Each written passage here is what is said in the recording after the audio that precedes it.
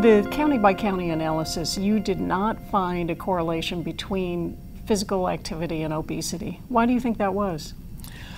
Well, first, the improvement in physical activity is important on its own, and we need to focus on that. So, as the nation increases its physical activity, that's a tremendous impact on our health. So, we have to take that positive message.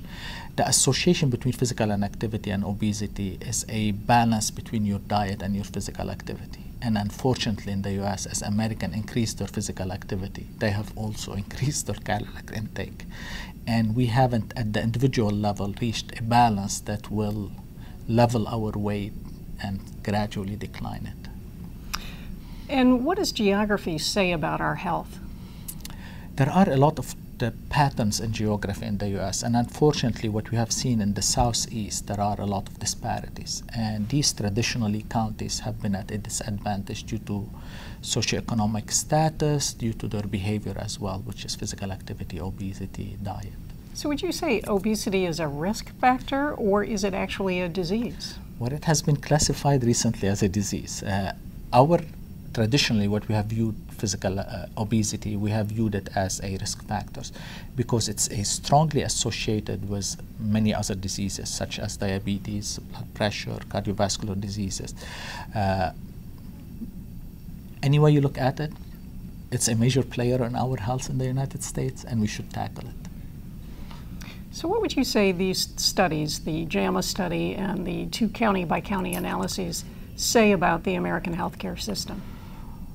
We in the United States debate health more than anybody else. I mean, that's the environment that we are in.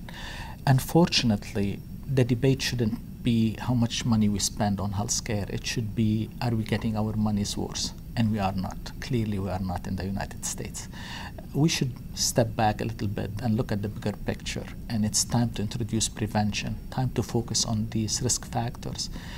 Uh, we are falling behind when we compare ourselves to our peers in the world. What would you advise physicians who are looking at these studies and trying to apply it to their own patients?